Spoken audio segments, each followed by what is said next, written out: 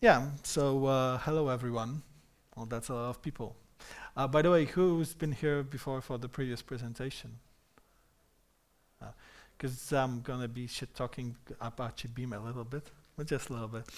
Uh, okay, so my name is Kamil Owczarek, and some of you may remember me uh, from some conferences as the guy who does those grim presentations about technicalities in big data yeah, so this year I decided to do a more light presentation and it really paid off. There was like 10 times as many people as normally. Uh, so thanks for coming.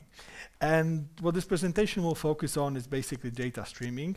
Uh, I will talk a little bit about uh, why do you need to do or you will end up doing data streaming if you're writing data-driven applications, um, how to do it from very basics to some more complex stuff, and then we'll uh, take a few of the tools that are really useful in terms of uh, data streaming, data streaming analytics, and we'll talk a little bit about what features do they ship and how do they fare in most important metrics so that we have solutions for certain use cases.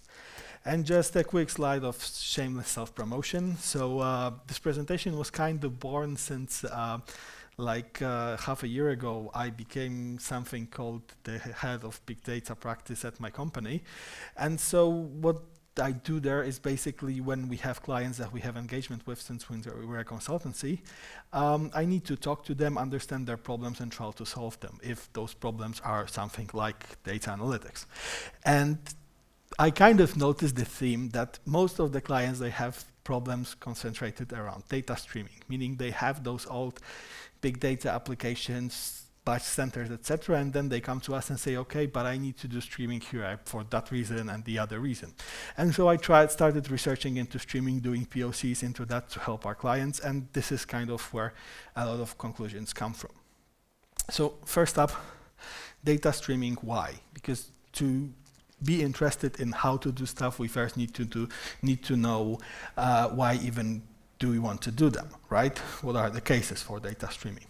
Well, there's a lot of cases. Take, for instance, cars, right, the vehicles.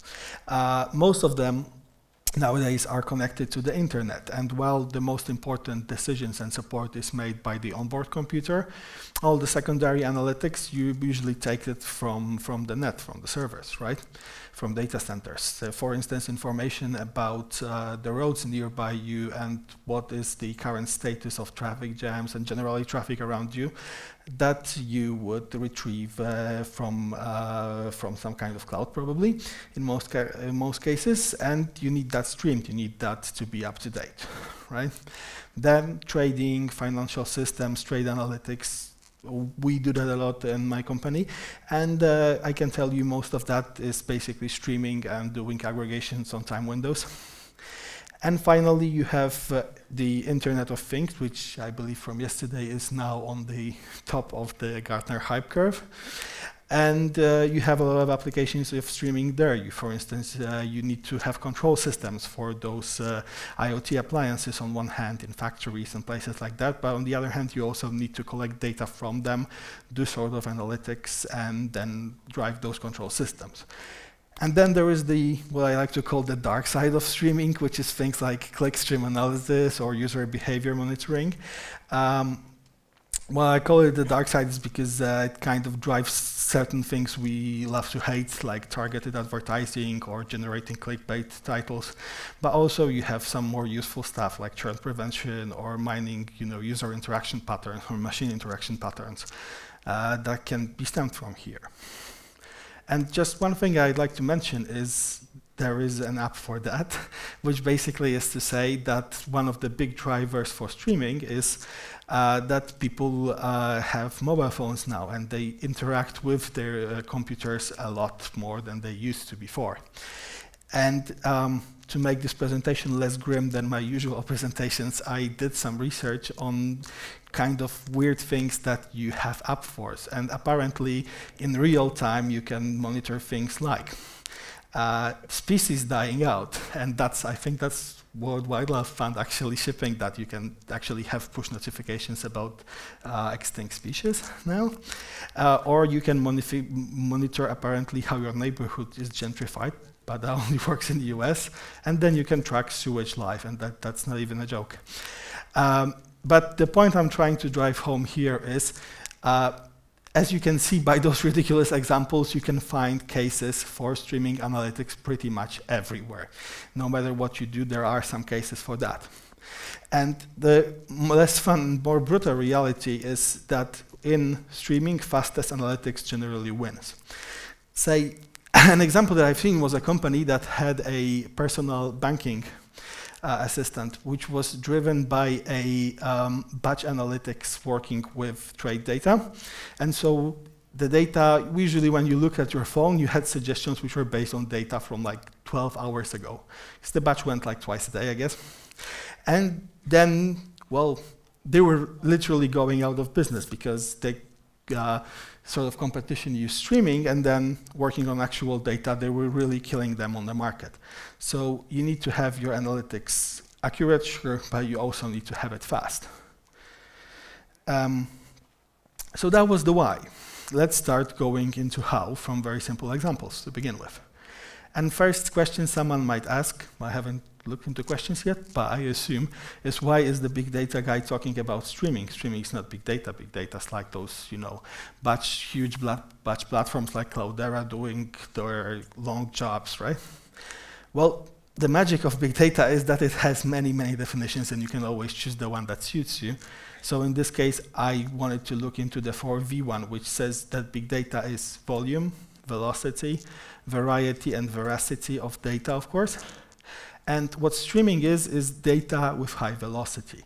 So you don't, it doesn't come in big packs, but you essentially get a lot of it really quick if you think click streams, for instance, right? You have a hundred users every minute on your site. Uh, that per day equals gigabytes of data. Even coming in small chunks, that's big data for you.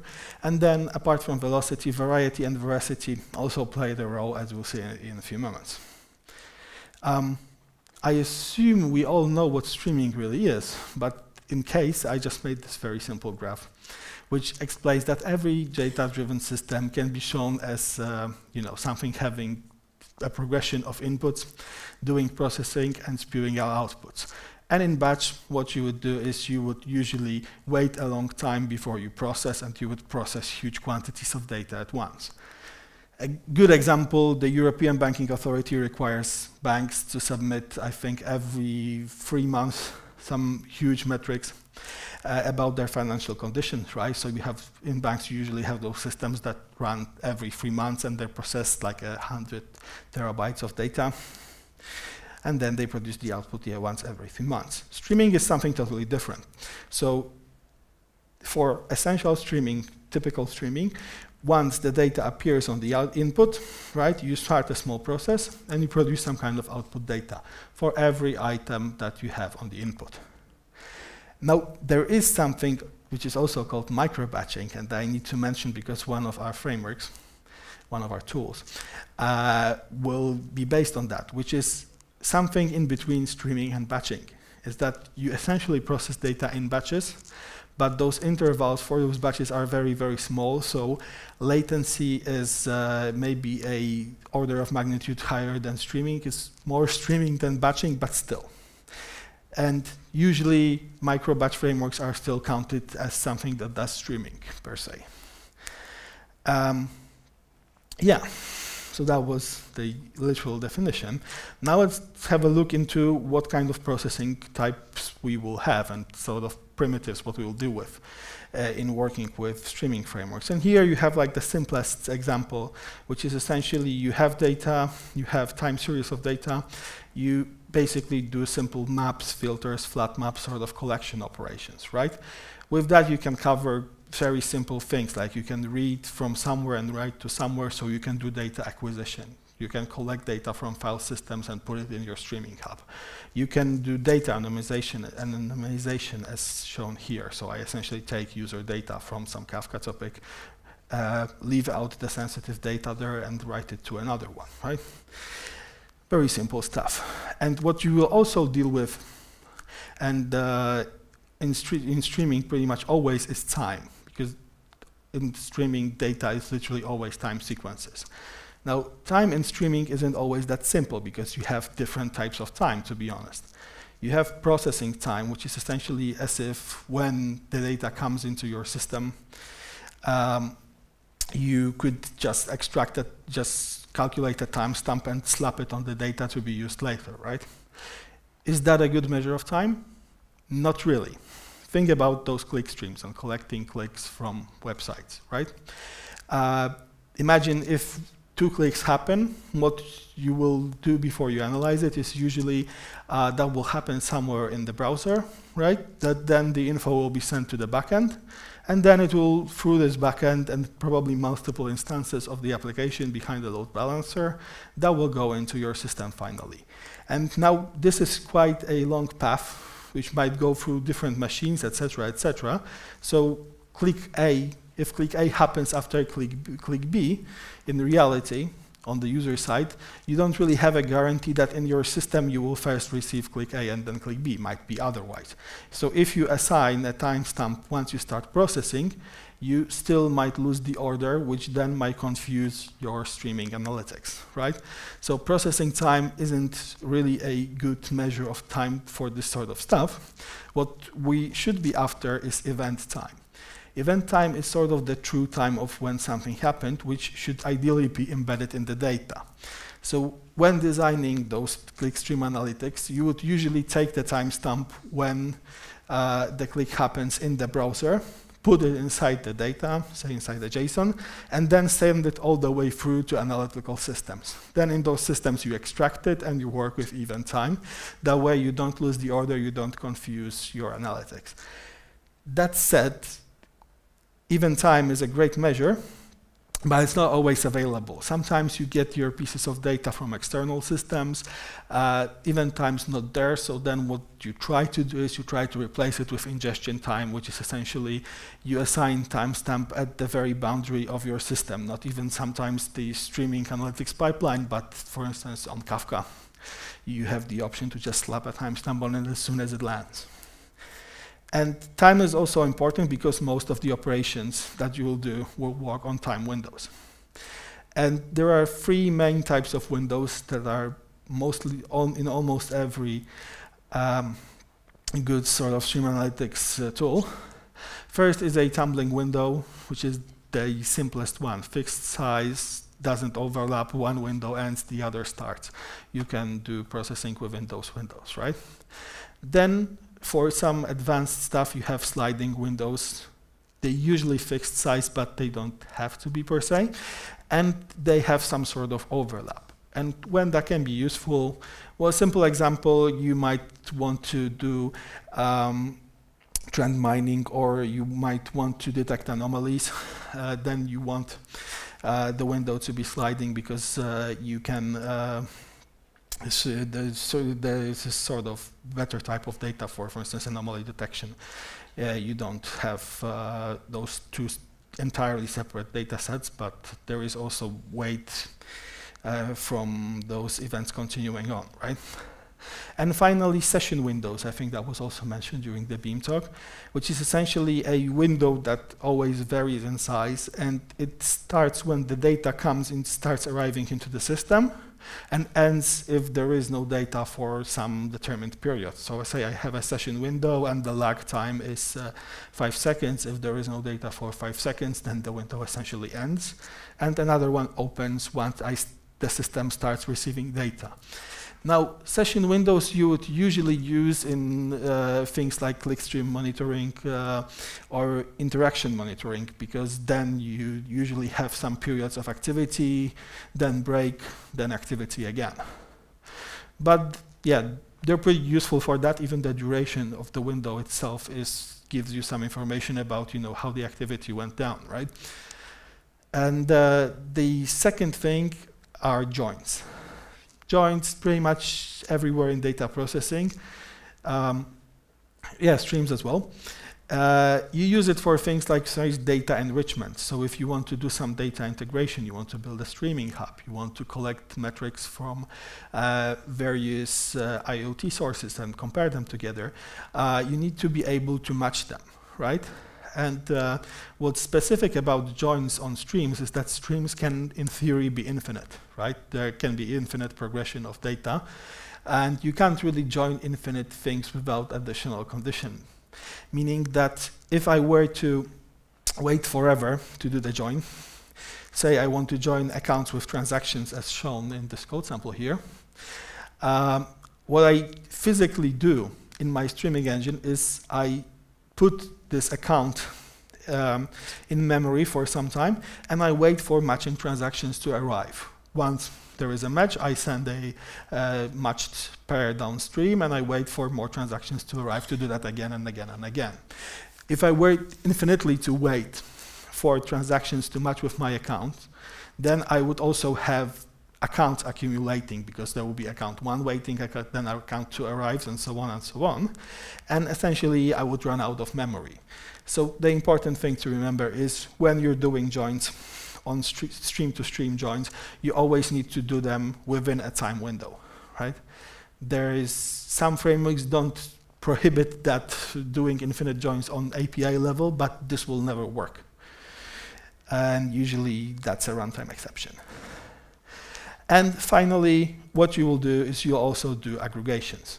Aggregations, you know, grouping by key, computing statistics, usually also within time windows, because I mean, that then you would also have the problem of infinitely waiting for the updates. So usually there's some window involved, and with that you can do things like you know complex decision making. Uh, you can have some say online machine learning algorithms. You can calculate statistics. Um, yeah, derive insights. And the important thing is, if you have those simple map, flat map operations, time windows, joins, and aggregations, that's pretty much every operation you, e you ever want to do on the streams can be boiled down to a combination of those. So for instance, if you want to know a performance of a framework really in depth, you just need to take those few cases and check how it does simple operations, how it does join, how it does aggregations, and you almost know everything. So now for a change, that was some theory and a lot of colors. Uh, so for a change, let me tell you what tools we'll be looking at and what I'll be comparing. So first up, Akka Streams, right? Um, yeah, I presume this is known to a lot of people. It's also, I think there is, there is or was a presentation on it on this conference, very conference, uh, done by Lightbend. It has a Scala and Java API uh, works on the actor model underneath from Akka core, so you can expect uh, massive parallelism happening there. Uh, it's a sort of reactive streaming framework, so it enables the consumers to uh, tune in with the producers and set up the, uh, the correct data flow rate so that there isn't much throttling going on. And finally, it has a very broad set of connectors in the Alpakka project highly recommended. Then the second tool that I had experience with is Kafka Streams, uh, which is done by Confluent as a part of their platform, but you can use it outside that platform, no problem. Um, the specific of that, this is that is that this one is very Kafka-centric, and part of it is that it doesn't have integrations to things like databases, for instance, or I don't know, uh, distributed file systems as you would have in Akka or other. Uh, it basically reads from Kafka and writes to Kafka always. If you want to change that, you need to put something in there like Kafka Connect, for instance, but that's an additional application, also adds some latency. Um, yeah, so this is the specific part about Kafka Streams, and also uh, the API Java Scala, pretty much the same as Kafka Streams. And those two, they kind of form a category of uh, those streaming tools, which you would use, they're very lightweight, and you would usually build them into your application, into your jar, and just run it on a JVM. You, have, you can have multiples of those, multiple of those running for different partitions, but essentially you just run it inside an application. Whereas the other two, starting with Flink, are uh, more focused on processing data streams on the cluster. And naturally, when you have a cluster, you have multiple machines, you have autoscale. Uh, that gives you the ability to uh, process a little bit more, but it isn't always as fast as those very lightweight ones. And so Flink does cluster processing, but it's still streaming as we've seen on the graph before. So you can still process element by element and essentially start processes once data lands on the input. And uh, one of its huge pluses is that Flink has also other modules for batch processing, for uh, graph mining, for uh, machine learning, and you can mostly integrate them with the streaming module. Uh, so you get a lot of stuff for free, whereas it is still streaming and it can be reactive. And the final one that I'd like to compare here is uh, Spark streaming, specifically structure streaming, which is the new standard for streaming uh, data frames in Spark. Also cluster processing, so you usually have a cluster of Spark, you submit your job and then it reads streams and processes it on the cluster. Uh, and Spark, what's specific about Spark streaming is, as they say, Spark streaming is not streaming, in that it works in this micro batch model, which naturally suggests that it will not be very, very fast, but will probably be able to process more data uh, in the longer run in terms of throughput. And like Flink, Spark basically has a lot of additional modules for things like ML graph processing. They're very similar that way. Um, yeah, now to the shit talking. So uh, uh, yeah, there is a slide on Beam, which apparently was also a presentation before that one, uh, because uh, I heard people saying you don't really have to bother about the Spark, uh, Kafka streams, etc., because you can you have Beam. Beam runs on uh, we use Spark and Flink and Samza and others as a backend, right? So you write in one API and then you can run on whatever. Um, that's sort of true, but not entirely. Um, so first of all, you can see that it runs on Spark, runs on Flink, so those cluster environments, but doesn't run on things like Akka streams or Kafka streams. And as you'll see in a moment, um, there are cases which are very nicely covered by Kafka streams or Akka streams, but aren't really that well covered by things like Spark or Flink. So that's first minus of Beam, really. And then the second one is, yeah, it sort of runs on all those environments, but it doesn't equally support all the features on all of them. So for very simple cases, you can, for simple cases, yeah, you can use Beam no problem, but if you try to do something a little specific, then usually the support is different for Spark or for and Flink, or there is no support for one of them, and you generally run into problems. We've done that in our company, and at first it worked great, then not so great. But I have to say, the killer feature of Beam, I think, from my perspective, is that it kind of runs on Google Cloud Dataflow. It stems from there. Um, so what you can do is you can essentially write an application that works on-prem, on say your local Spark cluster, but then if you decide to move to cloud, you can run the same code in the cloud. And if it's Spark here and Spark there, which with things like Google Cloud Data Dataproc is mm, possible without a problem, then the migration is really easy. So for some financial institutions which tend to do that, they tend to have applications running locally and then they say, okay, but in like a year we want to go to cloud. That, that's a really nice solution. Yeah, so, um, so as I mentioned, Akka streams, Kafka streams, Flink, and Spark are the contenders. And now let's look at the categories. So first up, something that probably everyone understands, but I still drew a graph for that, which is latency. Latency, as defined by Wikipedia, is time, by time delay between the cause and the effect.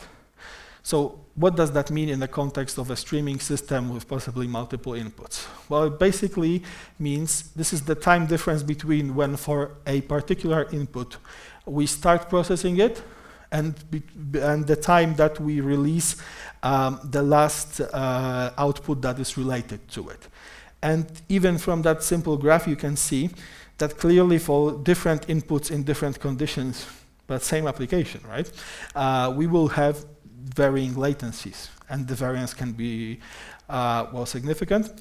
Um, so what you do in terms of measuring latency, you usually collect latencies per element, and then you calculate an average of many, many cases. And that's how you measure latency of a streaming application. Second one, also pretty natural throughput. So essentially, uh, the number of pieces of data that we can process in a certain unit of time. We chop up the time scale in uh, the pieces of the same size, right? S say um, small tumbling windows. And for each window, we calculate how many units were processed. By processed, I mean, again, the last related output was released from the system. And then we average over many, many of those, and we get a general throughput of our streaming application. So these are the two key metrics, latency and throughput. When you talk efficiency in streaming, you usually mean those two. But then there are some features which are also important to build a application which is not only you know fast and generally can throw around a lot of data, but is fault tolerant and uh, doesn't lose data. For instance, handling lateness. So a few slides ago, I mentioned that there are different types of time in streaming applications. You have processing time, you have event time, you may have even ingestion time. And for instance, if you define a window, say you define a uh, tumbling window in event time, right? Um, in processing time, it might have already passed. But if an item still belonging to that window is late, uh, then it might still have an event time that belongs to that window, right? It just got delayed on the network or something, but the event actually happened in the time frame that we want to analyze. Then what we can do is we can wait a little for that element. We can't wait too long because that would slow us down, but we can define a uh, small waiting period saying, you know, even if the window has passed in processing time, uh, still wait a little bit, maybe events with the event time belonging to that window will arrive. And that's essentially lateness handling and the watermarking for you, right? That's one of the features that we definitely need to have. Then checkpointing, which is a uh, crucial mechanism in dealing with potential failures. The checkpoint is essentially a small dump of the state of the processing system, of the streaming system. Uh, so what you might have as a state is essentially some kind of offset. Say we read from Kafka and we process elements. Uh, then the offset of Kafka and the stage to which the data got kind of marks how far you went with the processing. And then we might also have some internal state being stored on the cluster or in the application. For instance, if we're doing a time window join, right? Or time window aggregation. We have some data waiting to be, to be matched or for the other data to arrive to be aggregated within that time window. So this is stored in memory, and when we do a checkpoint, that also has to be dumped so that if we have a failure of our application, we have a failure in our cluster, the application will come back, check for the, that checkpoint in the checkpoint location, uh, read it, and resume working where it last left off. Of course, there is some, there might be some small differences because checkpoints don't happen every millisecond, right? And uh, that's sometimes the sort of latencies we might be dealing with. They don't usually also happen every second. Uh, but then there might be some just small redelivery. Usually that isn't a big problem with, for instance, idempotent uh, saves in databases uh, like, I don't know, uh, Cassandra has them, MongoDB, for instance, has them. So we can deal with that. And thinking checkpoints, you also might want to think you can do a checkpoint on the local machine uh, that you're working or in the cluster, right? But then if the failure is really, really hard, for instance, not only your application dies, but the whole machine dies, um, and you will have to start your process on another machine, then you will not recover such a checkpoint because there is no contact with that machine, right?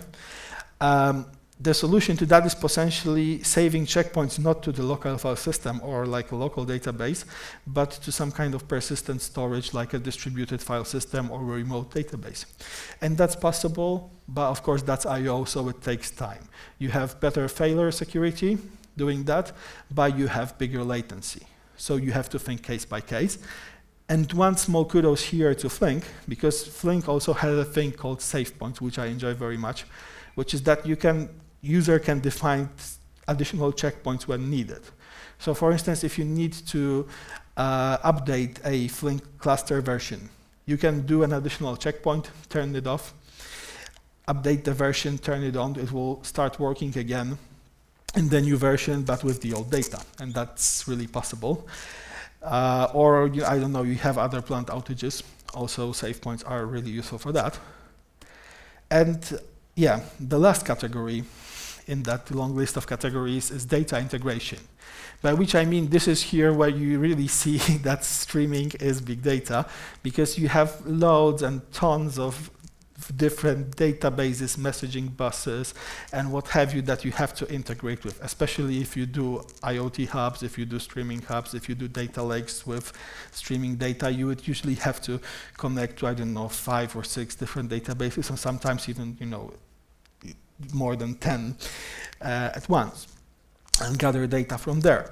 So if you're doing that, what you really want to have then in your uh, streaming tool is you need to have sources and sinks from a lot of different uh, databases, uh, distributed file systems, and this sort of stuff, and you want to have them out of the box, easy to use, possibly with efficient join planning behind right? So let's maybe that that was kind of long. So I'll quickly repeat uh, what we will be looking at: latency, throughput, lateness handling, checkpoints, data integration, meaning different sources and sinks for a lot of popular systems. And here's where I will probably disappoint you a little bit: latency versus throughput. Now, this is a very simple graph it is, however, based on a study made by, on the, uh, the University of Berlin. By, it is purposefully vague because there's many of those benchmarks that people do. And each one of them shows um, a little different result. And when you show one of them, then people usually uh, start being mad at you and say, this is not how it is. I don't know, Kafka Streams is faster than Flink or something. But this simple graph, with my small addition, it generally fits uh, my experience from practice, and I've done implementations in uh, almost every one of those frameworks except for Flink, which I only did in POC. And what you want to read from here is essentially this. Spark streaming, it has a very high latency for a streaming framework, however, streaming framework. Uh, that said, it can deliver very high throughput if needed. Kafka streams and Akka streams, they generally have very low latency. Um, however, the throughput isn't as huge as for Spark streaming, for instance. And then Flink is, it usually lives somewhere in the middle. So it has latency that borders on uh, Kafka streams, Akka streams. Also has a little bit higher throughput. It's, it's somewhere near there. And that leads us to the crucial slide, I think, which is the feature matrix, which shows you for all those categories that I mentioned and explained, what do you have in which framework. So say checkpointing, right? You have checkpointing for local file system in Kafka Stream, Spark Streaming, and Flink. Uh, you have the option to use a distributed file system out of the box in Spark Streaming. You have it in Flink. You don't have it in Kafka Streams. And then for Akka Streams, you don't really have checkpointing as such. There is an external library for that, or you can do it by hand. Same for watermarking. There is no automatic watermarking in Akka Streams. There is one in Kafka Stream, there is one in Spark Streaming, there is one in Flink. Then the weak point, I guess, of Kafka Streams, uh, however, this is intentional and that's how Confluent wants it, uh, is integration. It doesn't contain many sources out of the box. It is meant to do Kafka Kafka transfers, whereas for things like Akka Stream, Spark, Flink, you do have sources and sinks for most popular uh, file system databases, messaging buses. Uh, where Akka Streams really shines is basically low-level control. And here this is mentioned for input-output, but really uh, compared to other of those streaming tools, you can do a lot of low-level control with pretty much any regard in Akka streams. Uh, for instance, uh, you have very easy to use uh, sources and sinks for things like Kafka or files in Spark Streaming or Flink, but you can never tune them as uh, precisely as you can do it with the Akka Streams connector. And Kafka Streams, again, it really is a Kafka Kafka tool. So yeah, you can tune it very well, but only regarding Kafka. Then, for sliding and tumbling windows, this is pretty much supported by any framework you have it isn't really streaming if you don't support that. But for session windows, which again I'm, i mentioned those are usually used for uh, sort of uh, activity monitoring or click streams or session tracking, um, you have support for them in Kafka streams, you have support for them in Flink. However, there is no explicit support in Akka streams or Spark. And as I explained with latency, the general rule, the general rule is that Akka streams and Kafka streams, they're very low latency. They're very, they can uh, process individual records very, very fast. However, their throughput isn't that high, and they don't auto-scale all that well. Uh, with Spark streaming and Flink, you get higher throughput, and then Spark streaming has pretty high latency for a streaming tool. Flink is a little better. It borders somewhere on Kafka streams in terms of uh, in terms of latency. And what that complex matrix tells you is this sad conclusion. There is no silver bullet here. There is no clear winner, right? If if we look at it, there isn't even, I think, apart from sliding and tumbling windows, any feature that is supported by all of those, even though those are pretty crucial streaming features. So you always have to make trade-offs. You have to trade latency for throughput usually. Uh, you have to trade low-level control for having a lot of stuff out of the box and various integrations. And so since I can't really name one, what I'll do uh, is I'll go back to those uh, business use cases that I started talking about in the beginning, and for each of those, I'll tell you what I would personally would choose. Say, low latency streaming, meaning things like, for instance, you need to control IoT devices. You need to do quick analytics for IoT. You need to make very quick decisions in finance, on trading markets. Uh, what do you choose? Well, your focus needs to be on something that is very fast, that is very low level latency, even if it doesn't have a very high throughput because you will have records uh, arriving quickly individually. So my choice here would be either Akka streams or Kafka streams. For IoT, I'd probably lean towards Akka streams given that it has that can easily integrate with uh, things like MQTT or directly through TCP that can help us connect to those devices. Then on the other hand, we might have a uh, streaming project that is heavily focused on data integration. So you have multiple sources, not necessarily IoT devices, but you know, uh, different kind of systems, uh, input from WebSockets, some data stored in Kafka, maybe something on the file system, and you need to get that together. You need to perform joins, aggregation, uh, extract uh, some more meaningful data sets from them, and still do that in a streaming fashion, right? So this is essentially a task where integration uh, is key and multiple sources out of the box are key. And here, I'd either use Spark or Flink. Probably I'd lean towards Flink.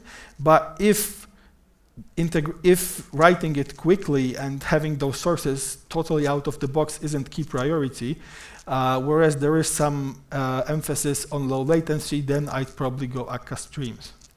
Um, sorry, something happened here. Uh, yeah, I think we're back. Yeah. So I'd probably go Akka streams on that one. Then the dark side, click streams, user behavior tracking, delivering targeted advertising directly to your uh, you know, web pages, right? What you need to focus on here is low latency. It needs to be fast. It needs to be responsive. But you probably end up doing windowed aggregations, and potentially for behavior tracking, you will use session windows. Uh, and the good choice for that is Kafka Streams because it's fast and it does implement all those goodies like session windows, where it also has things like checkpointing that you can do in the middle. So Kafka Streams for that one. And last but not least, I need to make a case for Spark streaming here, which is sometimes you get data coming at you very fast. But the nature of computations that you want to do on that data, for instance, if you want to uh, perform some machine learning on them with more complex models, is that you would take this data, aggregate it, and then either aggregate it again very heavily, or you would perform iterative computations on them as many machine learning models do. Uh, take, for instance, I don't know, um, clustering, right? Those uh, um, neighborhood clustering algorithms, they do tend to perform a lot of aggregation uh, iterations on data.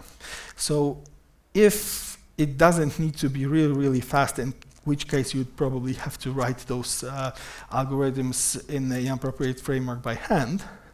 Then what you can do is you can use frameworks like Spark Streaming, which gives you give you those algorithms, the models in a very easy to use black box version. And what they also have is they can deliver high throughput. So if data is heavily aggregated, um, then you would probably not count on being very low latency anyway. And at the same time, they have features like caching data on cluster, so you can cache a lot of data. Whereas if you run on a uh, node by node, you don't, you can't really cache all that much, right?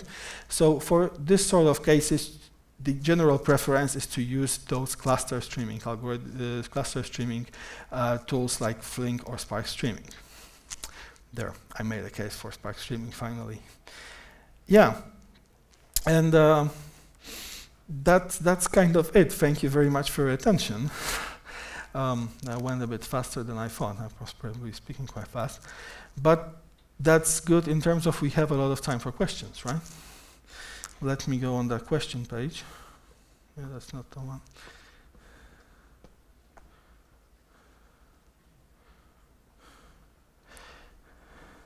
Oh, okay.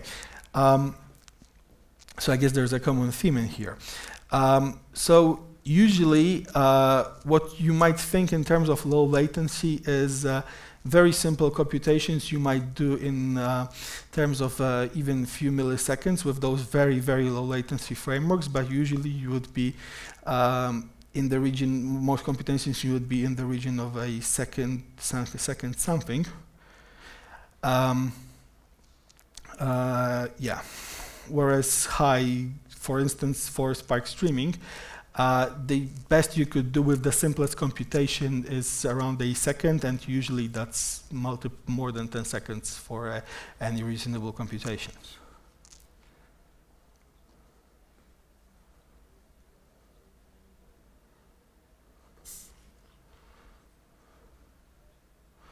Um, in terms of high throughput, so I'd say um, the beauty of things like Spark, for instance, is that uh, you can build really large clusters and essentially throw resources at it. So um, there, I don't believe there is a cap, total cap on what highest throughput you can get to. It's just a matter of how many resources you can put. I've seen a, like a Spark cluster that had a hundred nodes, and each one of them had more than 16 gigabytes of RAM, so that that would have like enormous throughput that can be delivered through it.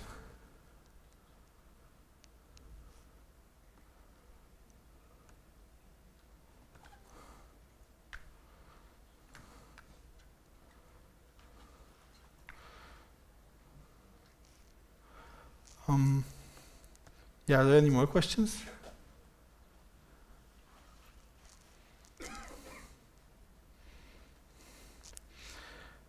Um, okay, so uh, yeah, then in that case, thank you very much.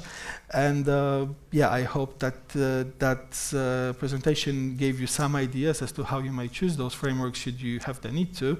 Um, I'll, I'll, put that online. I don't know what's the official channel for GeeCON. Is that Twitter?